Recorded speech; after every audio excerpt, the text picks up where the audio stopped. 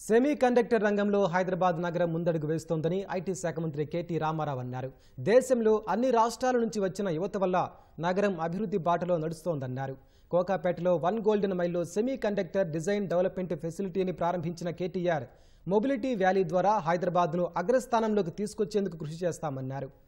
హైదరాబాద్ ప్రపంచంలోనే అతిపెద్ద innovation campus ఉందని టాస్క్ ద్వారా విద్యార్థులకు నాణ్యమైన శిక్షణ ఇస్తున్నట్లు వివరించారు.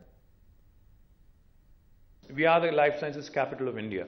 In fact, uh, 40% of India's pharmaceuticals are produced from Hyderabad. We are also home to India's largest medical devices park. And in this med devices park in Sultanpur, we also have the world's largest stent maker. We focus on tech innovation, we focus on prototyping.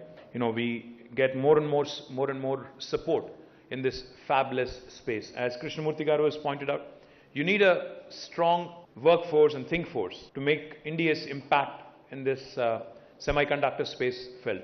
We're in very early stages now. You know, compared to the US or compared, uh, compared to Taiwan or compared to other semiconductor ecosystems, we're in a nascent stage, so to speak. But I believe the future is for India to really take uh, the pole position in the next decade or so.